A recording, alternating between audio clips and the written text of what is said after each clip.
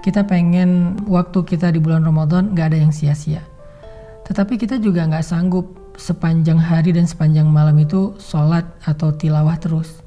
Nah, terus gimana caranya biar kita tetap dapat pahala ibadah, tapi kita nggak harus selalu dalam keadaan bersusah payah dan uh, capek. Intinya pengen ibadah yang ringan tapi pahala besar. Apa yang harus kita lakuin? Gampang. Ada banyak banget di dalam hadis Nabi tentang ibadah yang ringan tapi nilai pahalanya besar. Salah satunya kata Nabi, kalimatan khafifatan alal lisan, sakilatan fil mizan, habibatan ila rahman. Subhanallah wa bihamdih, subhanallahil azim.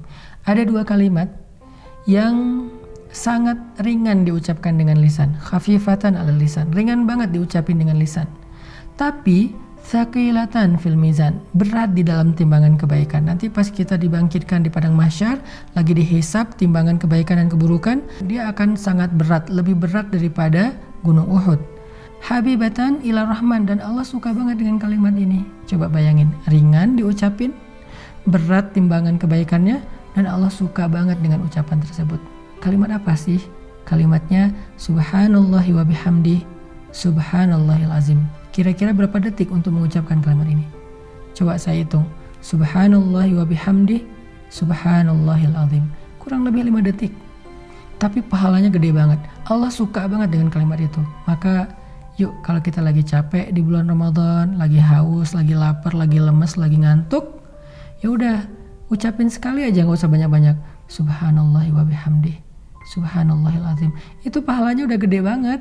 Pahalanya udah dahsyat banget Gak usah sampai beberapa kali, sekali doang. Apalagi kalau bisa misalnya tiga kali, lima kali, sepuluh kali, udah gitu santai. Itu pahalanya luar biasa. Itu termasuk di antara ibadah ringan tapi berpahala besar. Terus apa lagi Ustadz? Ibadah ringan, pahala besar. Caranya repost atau broadcast atau story. Gimana maksudnya? Kalau kita dapat sebuah konten yang baik, kayak sekarang kita lagi ada program booster untuk menjelang berbuka puasa kayak gini, teman-teman tinggal ngajak yang lain. Misalnya, eh ini ada booster Ustadz Hanan nih di channel ini, bagus nih, uh, yuk ikutin. Kita tinggal ngajak doang. Ngajaknya bisa dengan kita kopas, bisa dengan kita story link, bisa dengan kita BC, broadcast, Lalu teman kita nanti akan ngajak lagi yang lain sampai akhirnya bergulir jadi banyak misalnya 10 orang, 20 orang, 100 orang yang kita nggak sadari. Terus pahalanya di mana? Ketika mereka menonton sebuah konten-konten tentang kebaikan, konten ibadah, konten motivasi, konten agama, lalu mereka mendapatkan ilmu, maka mereka akan mendapatkan pahala mencari ilmu. Pahala yang sama mengalir untuk kita yang mengajak pertama kali. Lalu mereka mengamalkan, mereka dapat pahala amal. Pahala yang sama ngalir untuk kita yang mengajak mereka pertama kali. Mereka bukan hanya ngamalin sendiri, mereka ngajak temannya. Maka temannya juga mendapatkan pahala mencari ilmu, mengamalkan, mengajak, mencari ilmu, mengamalkan, mengajak. Pahala mereka semuanya diakumulasi mengalir kepada kita. Padahal kita cuma ngajak satu orang atau satu kali, cuma broadcast doang. Di grup WhatsApp kita, di grup geng kita.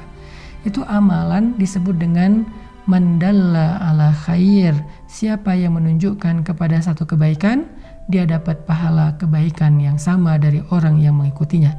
Mansanna fil islami sunnatan hasanah. Siapa yang mencontohkan dalam Islam satu contoh yang baik, dia dapat pahala dari orang yang meniru kebaikannya tersebut.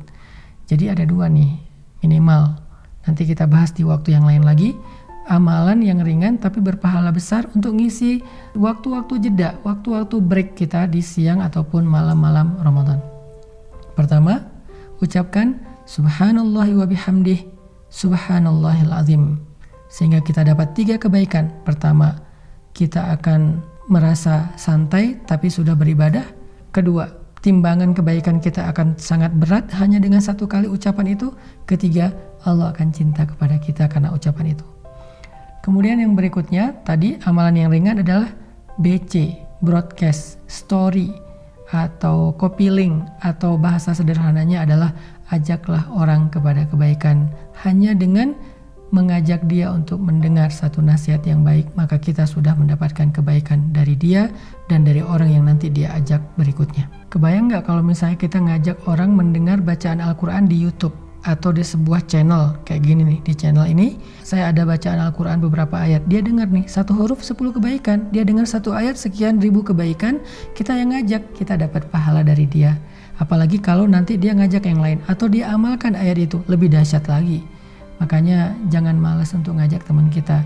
Yuk kita saling share link dari kajian-kajian yang baik seperti ini supaya semakin banyak orang yang mendekat kepada Allah. Dan ketika mereka mendekat kepada Allah jalannya lewat kita maka Allah nggak akan salah menilai. Allah pasti akan berikan semua pahala kebaikan mereka untuk yang pertama kali mengajak. Barakallahu fikum